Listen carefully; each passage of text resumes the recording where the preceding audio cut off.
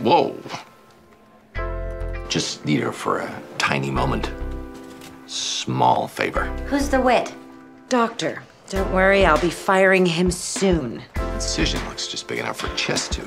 Someone mistake you for pinata? Usually we just get the elf jokes this time of year. What flavored dwarfs are you guys? Think you can make a pun out of that? Yes, but I don't want to be insensitive. It's a bleb. It's an evasion. We'll schedule an MRI to make sure.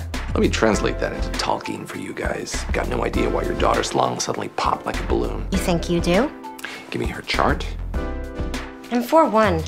That's 1.5 canes in metric. Saw in the file that her dad was normal sized. It's average sized. Compared to you, I'm sure it was huge. I'm certainly curious about the logistics. You stand on a table. Pretty much he lay flat and spin me. Mom, Being different, you get used to people's idiocy. Still beats the hell out of actually being an idiot. Care to go for a spin?